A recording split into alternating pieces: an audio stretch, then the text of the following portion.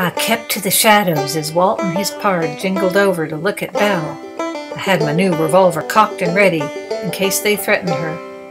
But all they did was take her double derringer. There, you can keep that as a souvenir.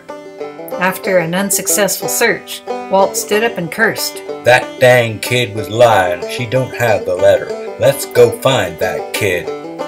Belle woke up and she left. I hurried after her. Belle, wait, it's me, PK. I am in disguise. Oh, PK, I'm so scared of what, what of Walt. What can I do? Come with me. I know a safe place. I led her back up to Isaiah Coffin's photographic studio. PK, I am so sorry I tied you up and robbed you. When we got there, Belle went straight to sleep on the couch. I was tired too, but I thought I might have a problem at the recorder's office in my current disguise. So I found some smart clothes before I went to sleep behind the couch. I woke up to the sound of the door opening and the smell of coffee. Good grief, what is going on here? The couch above me creaked. Hello, sir.